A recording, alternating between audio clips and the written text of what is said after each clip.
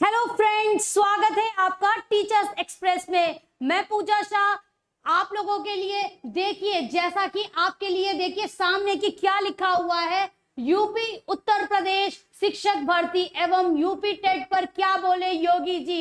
देख लीजिए कि उत्तर प्रदेश शिक्षक भर्ती की चर्चा होने लगी है। यू योगी जी ट्वीट करने लगे कि अब देखिए, अब वो दिन दूर नहीं है जब हमारे हाथ में नौकरी मिलेगी। और यूपी टेट पर क्या बोले योगी जी? चलिए मैं आप लोगों को योगी जी का ट्वीट दिखाती हूँ।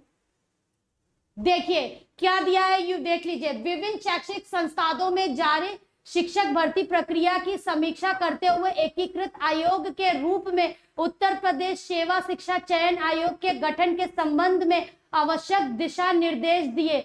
मुख्यमंत्री जी ने कहा कि यह एकीकृत आयोग समयबद्ध चयन प्रक्रिया मानव संसाधन का बेहतर उपयोग और वित्तीय अनुसाधन सुनिश्चित करने पर उपयोगी सिद्ध होगा।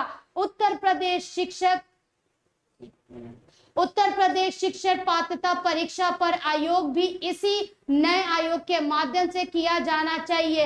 यह सुनिश्चित यह सुनिश्चित किया जाए कि टेट समय पर हो। अब देखिए, जैसा कि योगी जी ने ट्वीट कर दिया है कि टेट की परीक्षा हमारे समय पे किया जाए, हर साल किया जाए, प्रॉपर तरीके से किया जाए। जैसे कि हमारा सी टेट होता है तो अब वो दिन दूर नहीं है कि जब हमारे हाथ में पहले टेट आएगा, फिर हम लोग टेट को क्वालिफाई करेंगे देन सुपर टेट को करेंगे। तो हमारे पास बहुत अच्छा मौका है, बहुत अच्छी नौकरी पाने की।